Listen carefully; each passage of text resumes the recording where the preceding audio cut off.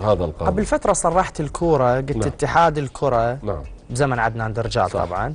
لم يكيف وضع القانوني. نعم. ما زال الأمر. ما زال. ما شلون؟ زال.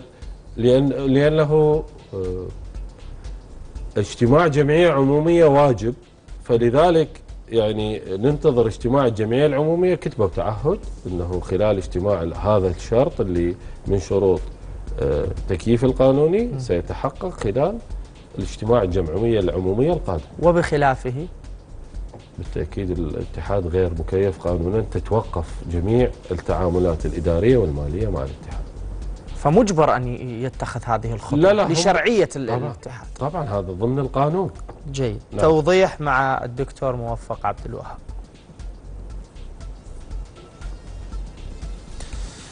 وفي فقرة التوضيح عدم انتماء الدكتور موفق عبد